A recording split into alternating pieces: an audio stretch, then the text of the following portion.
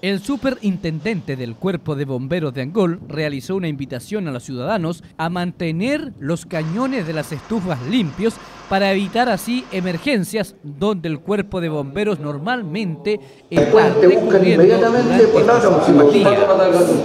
Al bajar las temperaturas y tener esta época en la cual nos vemos de alguna forma eh, afectados por las inclemencias del tiempo, eh, se agudiza el, uso de medios de calefacción y los cuales, al no deber eh, tener una debida mantención, nos provocan algunos problemas.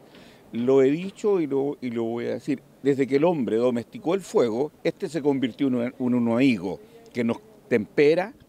y nos ayuda a cocinar, pero cuando se descontrola se convierte en un enemigo. Y esto no debe suceder, para lo cual debemos tomar las precauciones necesarias. O sea, estar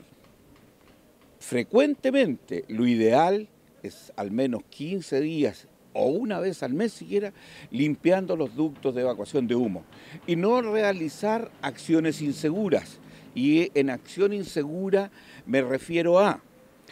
que cuando se que ropa alrededor eh, de los ductos de evacuación o alrededor de las estufas o cocinas sea bajo vigilancia, puesto que hoy día